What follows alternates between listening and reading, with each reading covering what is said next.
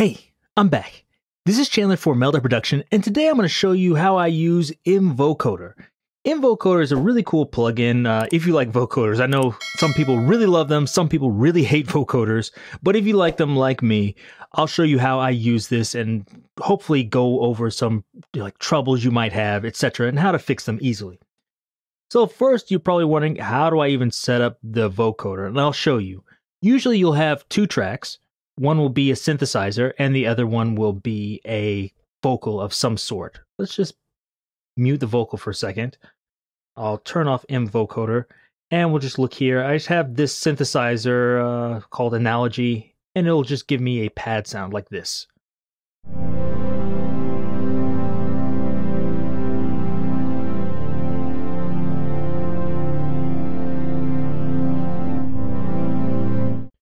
Very simple, very basic pad sound. Whenever you're doing this, I recommend not going to extremes with the highs, or I should say just the highs, of your synthesizer or whatever you want to do. You don't have to use a synthesizer, you could use whatever instrument you want.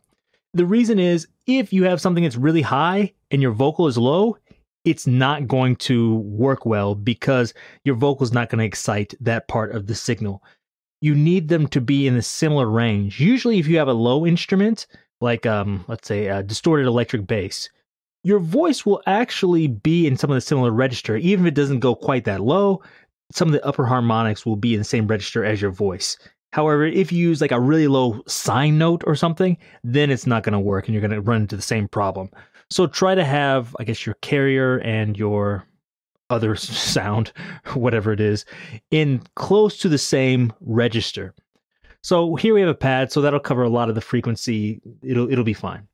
I'll show you the vocal. It sounds like this. Hey, this is Chandler from Melda Production. Today I'm going to try to show you some cool things you can do. Just me talking. Nothing interesting there.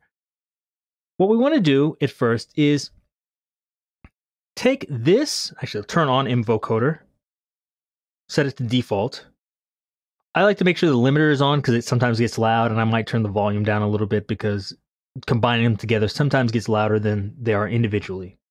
From here, we need to send something from the vocal into the synthesizer here.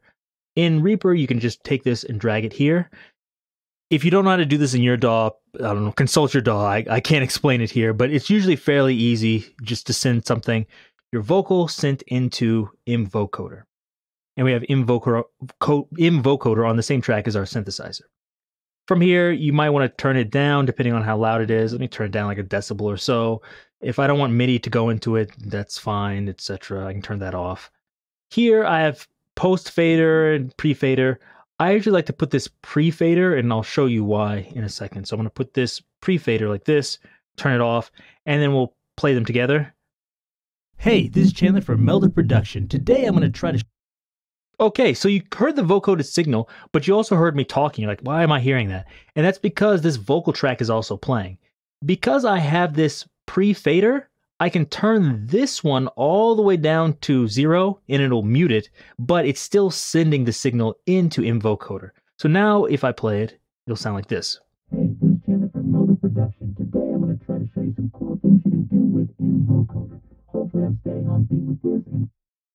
so you hear it's like it's vocoding, but it not only sounds really uh, low in volume, but it also sounds really muddy. And you're probably thinking like, how do I fix that?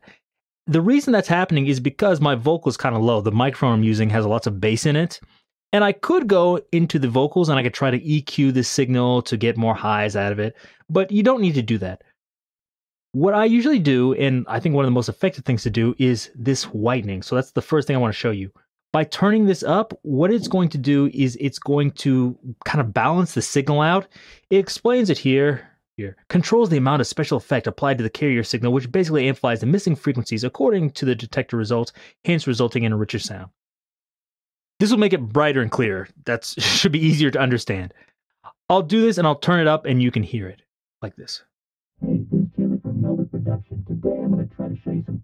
Can do with MVocoder. Hopefully I'm staying on beat with this and it sounds good. You can make things brighter, you can make things darker, there's all sorts of things. You don't even have to sing. You can just talk into it like this and it'll make it sound great. Now you can hear it and you're probably thinking, oh, that sounds like a vocoder. So that is what we want. From here, there's lots of different vocoder modes, which I'll show you in a second. But here in the detector, you're probably wondering, what does this do?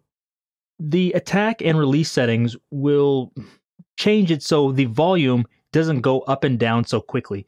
As I'm speaking, you can hear that my vocals are making the synthesizer go up and down in volume very quickly. By changing the detector settings, we can change that. And if we, let's say, increase the release, it'll almost sound like there's a reverb on there. Sometimes you want this release and attack really fast because you want to add, you know, the rhythm of this vocal sound. But if you don't, you can make it longer and it will be a little bit smoother. So I'll do I'll turn it down a little bit. You can hear it. It almost sounds the same. Hey, this is Chandler from Melda Production. Today I'm going to try to show you some cool things you can do with MVocoder. Hold Okay, now let's turn it up. Hey, this is Chandler from Melda Production. Today I'm going to try to show you some cool things you can do with MVocoder. Hopefully I'm staying on beat with this and it sounds good. You can make things brighter, make things darker, there's all sorts of things. You don't even have to sing. You can just talk into it like this and it'll make it sound great. You can hear how it's smoother and it almost sounds like a reverb. Sometimes you want that, but sometimes you don't. And same thing with RMS length, hold. The, attack almost does the exact same thing. Hey, this is Chandler from Melda Production. Today I'm going to try to show you some cool things you can do with MVocoder. Hopefully I'm staying on beat with this and it's sounds Now, obviously, that's hurting the intelligibility. Sometimes you want that, sometimes you don't. Let me turn this up and I'll show you something else. You're wondering, what does this freeze button do? What this will do is wherever I am in the vocal, it will stop on that particular sound, like the A sound or F sound, and it will freeze that and it will allow you to still hear the synthesizer, but it will be processed just through that one sound. Let me see if I can grab a good version for you like this. Hey, this is Chandler from Melda Production. Hopefully I'm staying on beat with sounds good. Could make things. There's all sorts of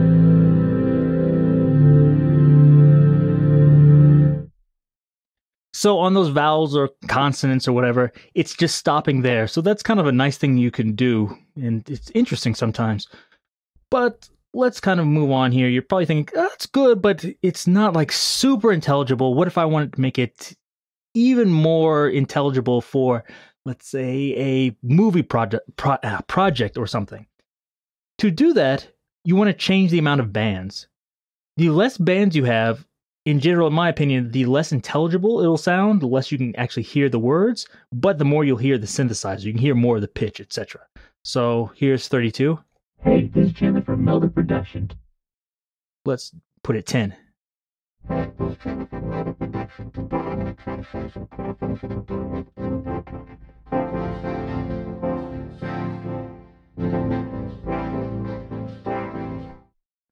So it just kind of gives it a rhythmic flavor, but you can't really hear what I'm saying.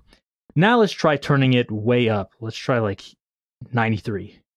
Hey, this is Chandler from Melda Production. Today I'm going to try to show you some cool things you can do with MVocoder. Hopefully I'm staying on beat with this and it sounds I'm sorry, it's going distorting a little bit. Maybe I should turn this down.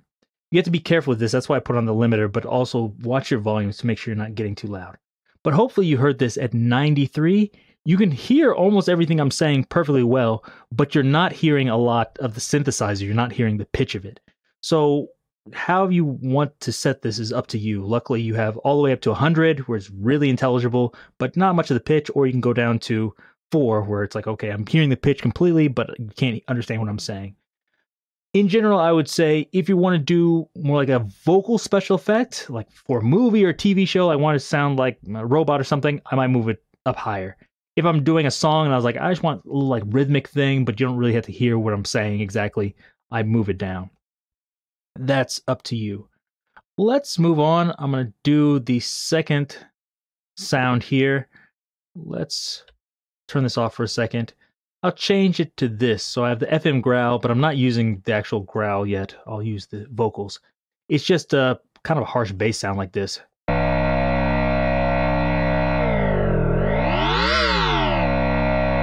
Like that. So let's move our vocal over and we're going to do the same thing. This. Now this is just a bass sound. The other one was chords. This is just a low sound here. Hey, this is Chandler from Melda Production. Today I'm going to try to show you some cool things you can do with MVocoder. Hopefully I'm staying on beat with this and it sounds good. The same thing, we can move the bands down. Hey, this is Chandler from Melda Production. Today I'm going to try to... It's hard to hear, but if I move it up like this, Hey, this is Chandler from Melda Production. Today I'm going to try to show you some cool things you can do with MVocoder. Hopefully I'm staying on beat with this and it sounds good. You can make things brighter, you can make things you probably shouldn't change the bands while it's playing, but uh, I did it anyway, so that's not going to sound good, but you get an idea. So you can find whatever sounds best for your project. As I said, uh, play with the attack and release here. But there's a few other things I will show you, and one is the formant shift. So if I really want to do like a alien voice or something, you can shift this down or up. If I shift it up, it will sound uh, like a child talking or something, or it'll Mickey Mouse. Hey, this is Chandler from Melda Production. Today I'm going to try to show you some cool things you can do with MVocoder. Hopefully I'm staying on beat with this and it sounds good. However, for a bass like this, I probably want to move this down like this. Hey, this is Chandler from Melda Production. Today I'm going to try to show you some cool things you can do with MVocoder. Hopefully I'm staying on beat with this and it sounds good. You can make things brighter, you can make things darker, there's all sorts of things. You don't even have to sing. You can just talk into it like this and it'll make it sound great. So that's uh, something you can do with it by messing with the formant shift. You can make it sound like a completely different person, like an alien or something. And uh, there's lots of other things you can do, but last but not least, I'll show you the equalizer. Now, this isn't your traditional equalizer. What this is doing is for each of these bands, like here I have 52 bands, but if I move it down, see here, there's just four bands. And for each of them, it allows you to set the volume of each individual band here. So if I think, oh, I want a little bit more of the upper mids like this.